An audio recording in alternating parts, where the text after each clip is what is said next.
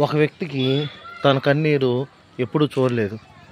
చిన్నప్పటి నుంచి పెద్ద అయ్యి ముసలి వయసు వచ్చేదాకా ఎప్పుడు తన కన్నీరు తనకు చూడలేకపోయాడు. అది ఎందుకు అని చెప్పేసి తెలుసుకుందాం అనుకున్నాడు ఆ కన్నీరు కనిపిస్తే. ఒకసారి పార్కులో ఒక్కడే కూర్చొని ఉన్నప్పుడు అతని కళ్ళలోంచి కన్నీరు అతని చేతి మీద పడింది. అప్పుడు ఆ కన్నీరుని పట్టుకొని అతను అడిగాడు ఎందుకని ఇన్నాళ్ళు నాకు రాలేదు నాకు కనిపించలేదు అని. అప్పుడు ఆ కన్నీరు తనతో ఇలా చెప్పింది నువ్వు పుట్టినప్పటి నుంచి నేను నీతోనే ఉన్నాను. చిన్నప్పుడు నువ్వు ఆకలితో ఏడ్చినప్పుడు వద్దామనుకున్నాను. కానీ అప్పుడు మీ అమ్మ నీకు పాలు పట్టి చాకలి తీర్చింది. తర్వాత నువ్వు సైకిల్ తొక్కి పడ్డావు. అప్పుడు వద్దామనుకున్నాను. కానీ మీ నాన్న వచ్చి ఆ దెబ్బకి మందు రాసి నిన్ను ఎత్తుకొని ఆడిచ్చాడు.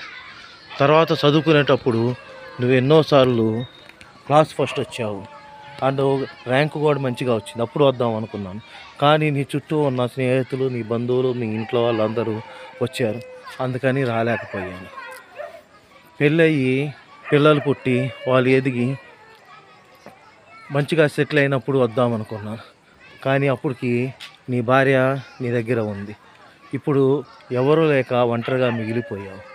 అందుకనే ఇప్పుడు నేను నీ దగ్గరకు వచ్చాను అని కన్నీరు చెప్పింది.